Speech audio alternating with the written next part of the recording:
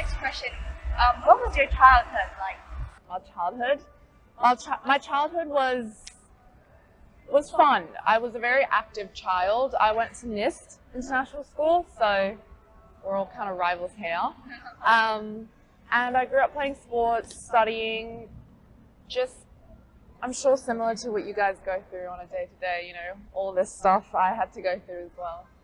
Would like to ask you, since you were raised in a mixed culture household, what what is it like? Is it uh, like has anyone perceived you differently because you're because you've been raised in a Thai Australian culture? In my household, not so much. You know, my parents have always the good things from each of our cultures to kind of raise my brother and I.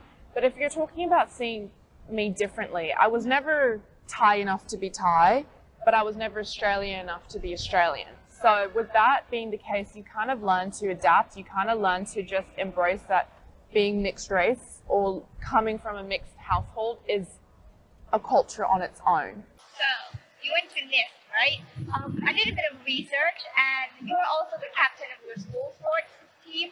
So do you think that played a part in like shaping to who you are now?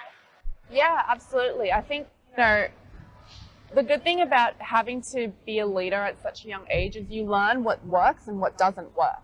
And throughout the years, you learn that at the end of the day, like being a good leader is all about listening, being able to listen to people, whether or not you agree with them or whether or not you can help. Essentially, it's all about having ha- having that ear for someone. I totally agree. I think that one of the qualities of being a good leader is being a competent listener and also listening to others' opinions as well, although you may disagree with them. But I think it's very crucial to have that skill.